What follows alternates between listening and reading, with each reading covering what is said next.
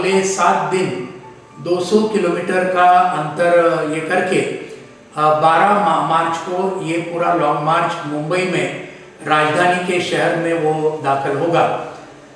12 मार्च को राजधानी में जाने के बाद वहाँ पर जो विधानसभा अभी सेशन में है उसको घेराव करने का हमने ऐलान किया है।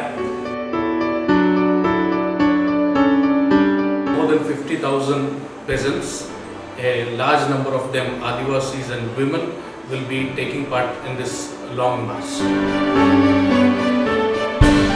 After consistent united struggles, the BJP government here had made, uh, given some assurances to the peasantry.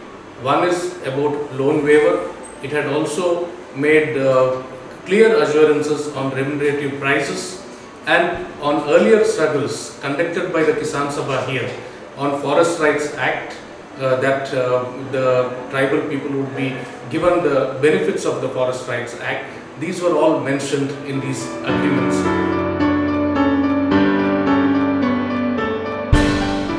आज हमने ये मार्च का इसलिए आयोजन किया है क्योंकि भाजपा का ही देवेंद्र फडणवीस की सरकार पिछले दो साल में जो जो वायदे उन्होंने किसानों को किए थे हर वादे को उन्होंने तोड़ा है।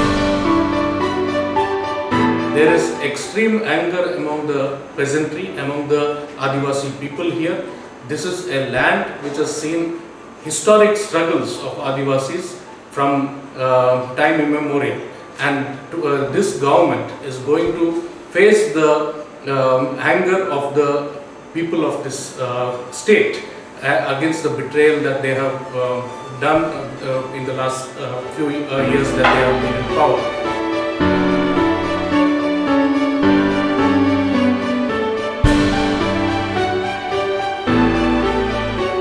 पंद्रह में हम यहाँ इकट्ठा हुए थे इन्हीं मांगों को लेके दो दिन का पड़ाव हमने डाला था और लाखों की तादाद में हम इन्हीं मांगों को लेके यहाँ पे जुटे थे दो बरस हो गए सरकार ने कुछ नहीं किया।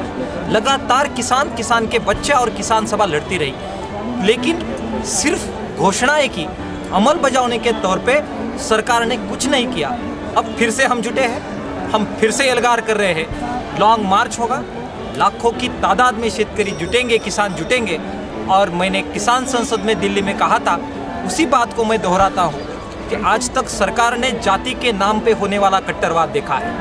धर्म के नाम पे होने वाला कट्टरवाद देखा है। लेकिन जिस दिन ये व्यवस्था और ये सरकार किसान के बच्चे का कट्टरवाद देखेगी, वो देख नहीं पाएगी, ऐसा मैंने संसद किसान संसद में बोला था। बस उसी कट्टरवाद की एक झलक आज किसान दिखाएगा। बड़ी तादाद में हम चल के जाएँगे। विधानसभा को घेराव करके छः दिन चल के जाने के बाद घेराव करके हम लड़ेंगे, मांगों को लेके लड़ेंगे, मनवा के रहेंगे।